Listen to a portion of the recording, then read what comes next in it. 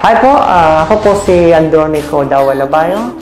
Ah, nag-enroll po ako dito sa Pinoy Training Center o PTC, ah, MS Excel, para po madagdagan ang kaalaman ko at magamit ko rin po sa trabaho ko dito sa Dubai. Nag-enroll ako dito sa apat na dahilan na malapit sa bahay ko. Abot kaya ang learning fee. Pangatlo, tatlong Fridays lang, tapos ng klase. Pwede na ulit ako mag-enroll ng ibang course. Pang-apat, ah, yung coach namin, masipag magturo, talagang nagpupursige siya na maturuan kami ng maayos. At para matutunan namin kung anong nalalaman niya. At yun ang tinuturo sa amin. Sa lahat ng OFW, iniimbitahan ko kayo. Enroll na kayo dito para sa dagdag kaalaman nyo. Mabilis na, mura pa. Pinoy Training Center. Galing ng Pinoy.